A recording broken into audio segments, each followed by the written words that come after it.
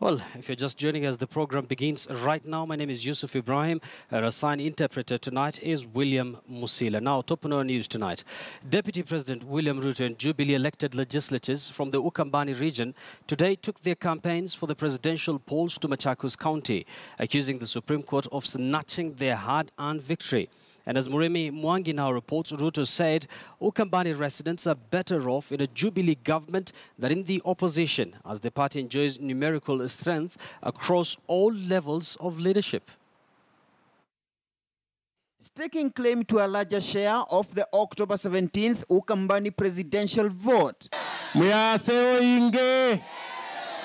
Deputy President William Ruto trooped to voter division in Machakos town constituency. Area Member of Parliament Victor Munyaka and other Jubilee elected Ukambani legislators leading the onslaught for the over 600,000 votes in Machakos County. Tulishinda kura hii ndio tumesema tuko tayari kurudi kwa debe. Sinema hiyo. Wana kitendawili awache lukumba lukumba na stori mingi. Anaanza kusema hapana, mimi siwezi kurudi mpaka huyu afukuzwe, sijui mpaka ule afanyiwe nini, sijui mpaka ule afanyiwe nini.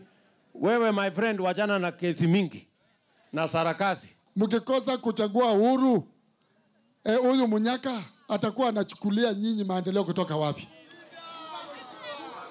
Si lazima kwa sababu mnilichukua, hata mimi mnipeleke mahali naweza kunegotiate mambo ya Machakos Town Constituency.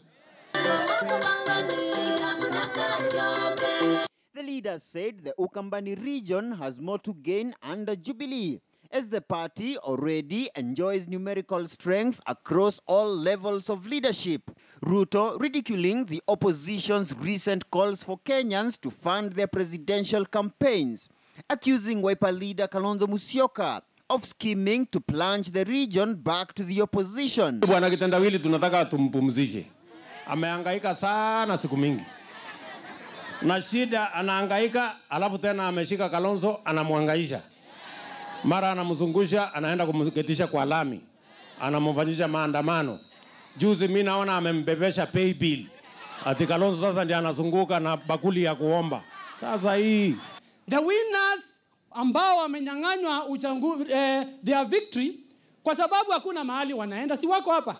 Si wale watu wamepigia Uruto kura wako hapa, wameenda wapi? Si wakirudi pale wataleta ile difference ya 1.4.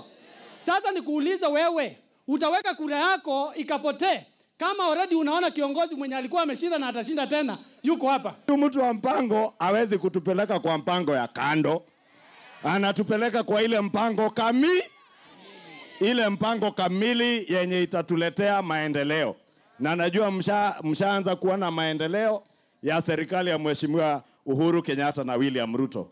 Mimi nitawaomba sababu baraka ambazo Mungu alipea Mheshimiwa Rais na naibu wake ni baraka moja ya kuunganisha jamii zote za Kenya.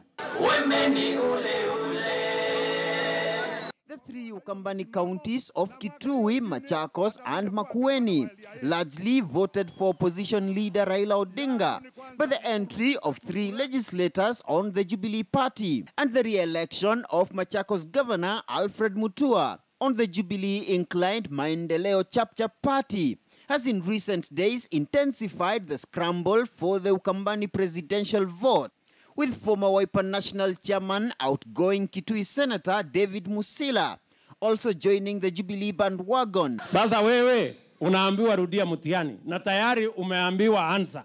Wewe utashindwa kuweka ansa ile unajua ya kupita eh? Najua Mungu alijua hii serikali haiwezi kuundwa na Jubilee bila ya kura ya Ukambani. With well over 1.5 million votes up for grabs in the larger Ukambani region, Kitui, Makueni, and Machakos County will no doubt remain on the spotlight as the hunt for the October 17th presidential vote continues. Muremi Mwangi, KTN News, Machakos County.